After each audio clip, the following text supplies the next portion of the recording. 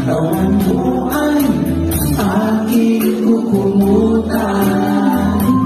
Mga problema'y iyo malilimutan Habang tayo magkayakap sa higit.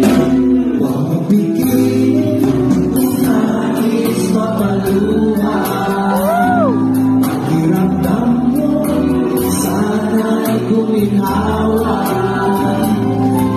So